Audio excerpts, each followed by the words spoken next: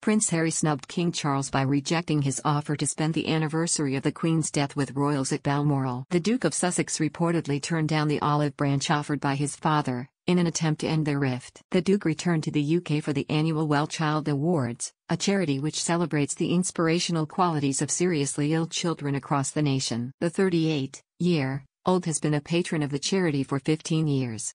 The award ceremony in Chelsea took place the day before the anniversary of the Queen's death with Harry was flying on to Dusseldorf for the Invictus Games.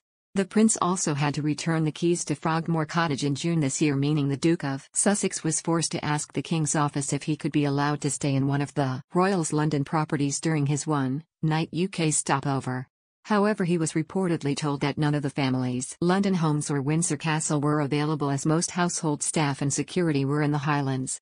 Harry was reportedly told that he would be welcome to join Charles and Queen Camilla in their private family time at Balmoral, which would have seen Harry spending time with his father and stepmother for the first time since coronation. However he allegedly informed the monarch that his itinerary made it impossible. Harry is reported to have held the short vigil alone instead, without any family members by his side.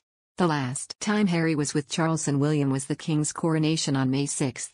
The brothers also joined their wives Kate and Meghan as they viewed flowers at Windsor Castle after the Queen's funeral.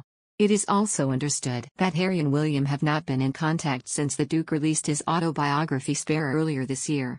Harry has spoken out about the royal family previously in his memoir and in his Netflix series Harry and Meghan, but appeared to criticize the family again during an interview. Speaking in an interview for the Netflix show Heart of Invictus, a series about the Invictus Games which the prince founded, Harry stated he had no support structure following the death of his mother, Princess Diana, when he was just 12 years old.